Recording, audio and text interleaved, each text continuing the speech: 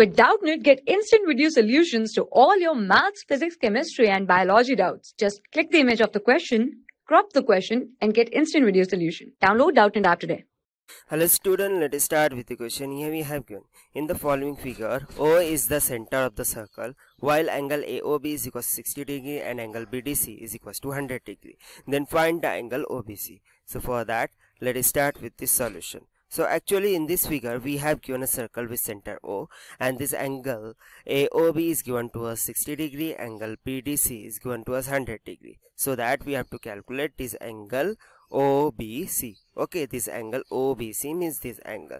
So to calculate this angle first of all I need to calculate this angle because once I get calculated this angle C so that by using angle sum property in triangle BDC I can able to find the angle OBC okay so if I will look at here so this angle AOB is nothing but the center angle while this angle ACB is nothing but angle at the circumference. So by using the theorem, here I can write the angle AOB will be nothing but is equals to twice of angle ACB. And this is because of angle at the center is double the angle at the circumference subtended by the same chord. Okay, so from here I will get the angle ACB will be is equals to angle AOB is nothing but 60 degree. Multiply by this 2 will goes to that side become 1 half.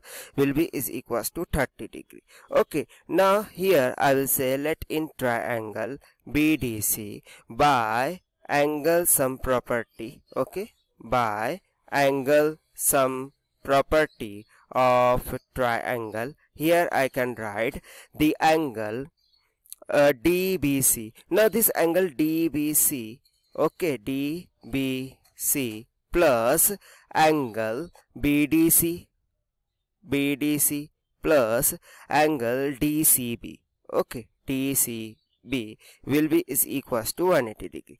Now here I will directly put the values so that I will get the angle DC DBC, okay, DBC will become is equals to 180 minus. This angle D is nothing but 100 degree. So it will be goes to that side become minus of 100 while the angles angle BCD we have just calculated that is 30 degree. So it will be goes to that side become minus of 30 now if I will subtract from 180 so here I will get 50 degree as angle DBC now this angle DBC if I will look at here so this uh, angle D okay angle DBC can also be written as angle OBC okay? So from here I can say that the angle OBC will become is equals to 50 degree. And this is nothing but what is asked into the question okay?